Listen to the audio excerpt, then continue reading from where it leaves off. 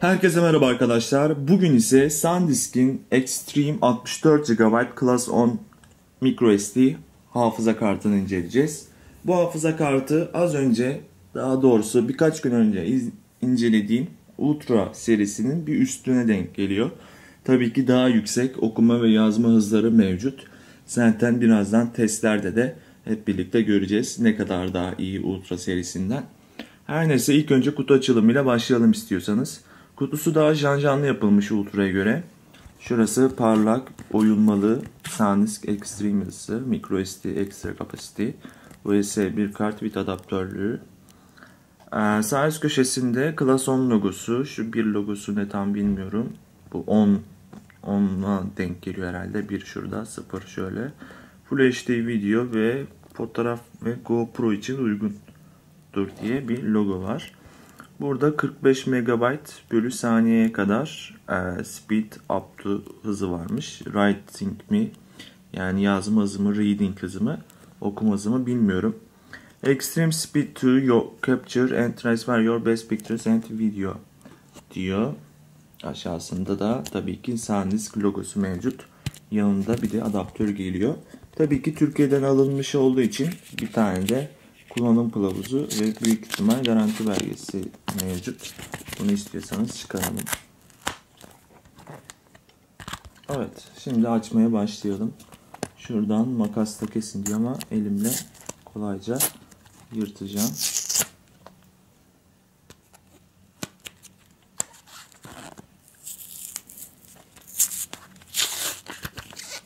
Evet, katman katman yapılmış. Hiç gerek yok. Direkt şuradan yırtalım şöyle katlayıp karta da zarar vermeden şu şekilde da olur sanırım. Evet şurada bir kod var. Hemen saklayarak bakayım. Neymiş bu? Exclusive offer for your for our valid SanDisk Extreme customer. Bir yıl e, Rescue Pro Deluxe Recovery Software e, key var burada. Onu ücretsiz olarak indirebileceğiz ve bir yıl süreyle kullanabileceğiz. SanDisk Extreme, Extreme Pro'lara veriliyormuş bu kod. Zaten onu ben bir indiririm bu videoyu çektikten sonra. Ve tabii ki burada da hafıza kartımız mevcut. İçinde başka bir şey yok tabii ki. Bir kutuda değil aslen bu.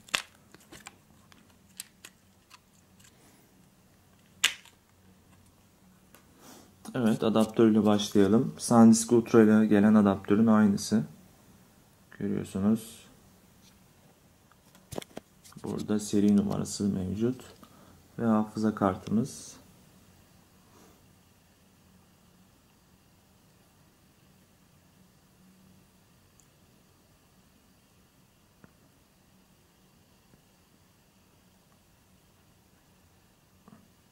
Evet istiyorsanız hafıza kart okuyucuma takıp bunun hızının testlerini yapalım. Bakalım kartımızın hızları ne kadar çıkacak. Hep birlikte ona bakalım.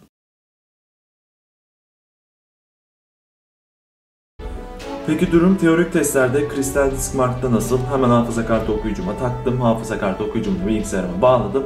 Şimdi hep birlikte programımızı çalıştıralım. Hemen buradan 100 MB seçtim. Ve J59 GB yani hafıza kartımı seçtim başlatacağım. Bu arada SanDisk Ultra incelememden bir görüntü aldım burada YouTube'dan durdurarak. Bu SanDisk Ultra'dan zaten görüyorsunuz.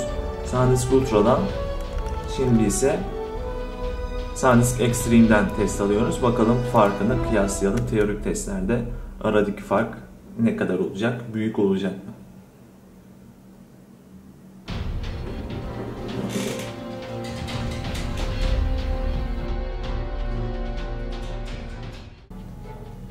Evet testi tamamladık. Hemen bir göz atalım. Okuma 47.50 MB. SanDisk Ultra'da o da 47.50 MB çıkmış. Write yazma 45.51 16 Evet arada çok büyük bir fark var. Görmüş olduğunuz gibi. 512K okuması 46.28 çıkmış. SanDisk Ultra'da ise 45.02 çıkmış. Evet bu okumalarda pek fark yok. Yazma 2.948 çıkmış. Ultra'da Extreme ise 34.09. Yani 2.948'den 34'e inanılmaz büyük bir fark var yazma hızı bakımından. 4K'lara geçtiğimizde ise okuma 5.190, SanDisk Extreme ise 9.604. Yaklaşık iki katı da iki katı gibi bir şey daha az okumuş. 4K yani küçük dosyaları okuma hızı daha yüksek. Yazma ise 3.665 çıkmış. 4K'da 1.734'te SanDisk Ultra'da çıkmış. Yine birkaç kat fark var.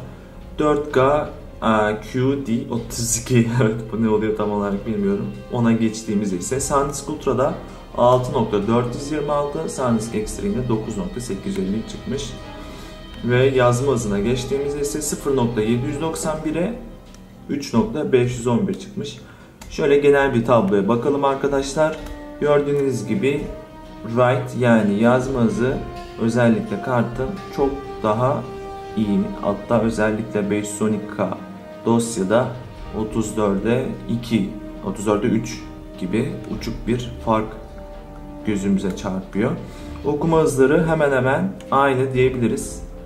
512K e, ve normal büyük dosya 100 MB'lık dosya okuma hızları hemen hemen aynı diyebiliriz. Fakat dosyalar bölündükçe, küçüldükçe yani küçük dosyaları okuma hızı SanDisk Extreme'in daha hızlı SanDisk Ultra'ya göre biliyorsunuz SanDisk Ultra'da 5 ve 6 çıktı şöyle sırayla okursak burada 9 9 çıktı.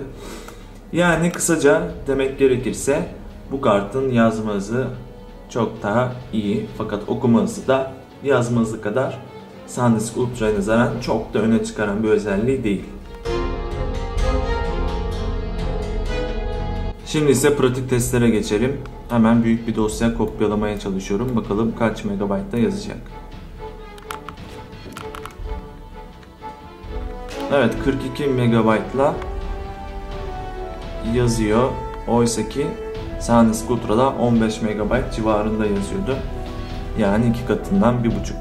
Evet iki buçuk kat fazla sanırım. Matematiğim iyi değil ama öyle oluyor. Evet 15, 30, Evet sanırım 3 katı. evet siz yorum olarak yazarsınız. Neyse bunu iptal edebiliriz. Ee, peki şimdi ise başka ufak dosyalara geçelim. Müzikleri atmaya çalışalım. Bakalım müzikleri ne kadar yapacak. Evet o az önce teorik testlerde gördük ya 4K falan vardı. İşte tam olarak bu demek. Burada ufak yani 5 MB'lık hemen hemen bir sürü dosya olduğu için yazma hızı sonuna kadar ulaşamıyor. Kristal Disk Mark'ta da bunu gördük. Ufak dosyalarda 512 KB, yani ufak boyutta dosyalarda yazma hızı üstteki kadar yüksek çıkmadı gördüğünüz gibi. Yaklaşık 33-34'te kopyalıyoruz. Evet hemen iptal edebiliriz. Hemen de silelim boşuna da yer kaplamasın. Burada. Sonuç olarak SanDisk Extreme tahmin edildiği gibi SanDisk Ultra'ya göre daha hızlı. Okuma hızlarını kıyaslarsak 47.50 civarı çıkmıştı. Büyük dosyalarda SanDisk Ultra ile hemen hemen aynı okuma hızına sahip. Fakat dosyalar küçüldükçe yani bu müzik dosyaları, fotoğraflar gibi şeyler oldukça SanDisk Extreme aradaki farkı biraz açıyor. Örneğin 5'e 9, 6'ya 9 gibi zaten teorik testlerde de gördük. Peki durum yazma testlerinde nasıl?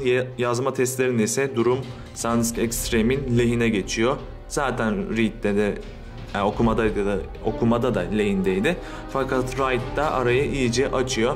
Örneğin büyük dosyalarda SanDisk Ultra 16 MB gibi bir şey okurken SanDisk Extreme 45.51 okudu. Yani 16'ya 45 gibi fark yarattı. Dosyalar küçüldükçe aradaki farkı SanDisk Extreme iyice açıyor. SanDisk Ultra 3 okurken SanDisk Extreme 34 okuyor. Yani 34'e 3 gibi inanılmaz büyük bir rakama tekabül ediyor. 4K dosyalarda yani gittikçe ufak dosyalara geldikçe ise 1.734'e 3.665 gibi hemen hemen iki katı civarı bir okuma hızı e, pardon yazma hızına sahip SanDisk Extreme. Yani kısaca özetlemek gerekirse bu kart SanDisk Ultra'ya okumaya nazaran hemen hemen aynı. Küçük dosyalarda sadece daha az okuyor. Yazma hızında ise hem büyük dosyalarda hem küçük dosyalarda yazma hızı SanDisk Ultra'ya göre çok çok çok daha fazla, daha yüksek. Aradaki fiyat farkı 50 lira civarı. 100 lira SanDisk Ultra, bu 150 lira SanDisk Extreme. Yani aradaki fa- fark bir buçuk kat fiyat farkı var. Bence bu yazma hızına göz önünde alırsak bir buçuk kat fiyat farkı verilir. Tabii ki tercih meselesi. Siz ne yaparsınız? Yazma hızı sizin için önemli mi? Sonuçta mobil cihazlarda kullanıyoruz bunu. Fotoğraf çekiyoruz ve fotoğrafı hafıza kartına kaydetmesi için okuma hızından daha çok yazma hızı önemli haliyle. Keza aynı şekilde video çekerken de öyle. Sanki SD kartlarda yazma hızı biraz daha önemli gibi okuma hızına göre. Peki siz ne düşünüyorsunuz arkadaşlar? 100 lira San- e, 100 lira SanDisk Ultra vereceğinize 150 lira SanDisk Extreme'e verir miydiniz? Yorumları bekliyoruz. Ayrıca kanalımıza da üye olmayı unutmayın.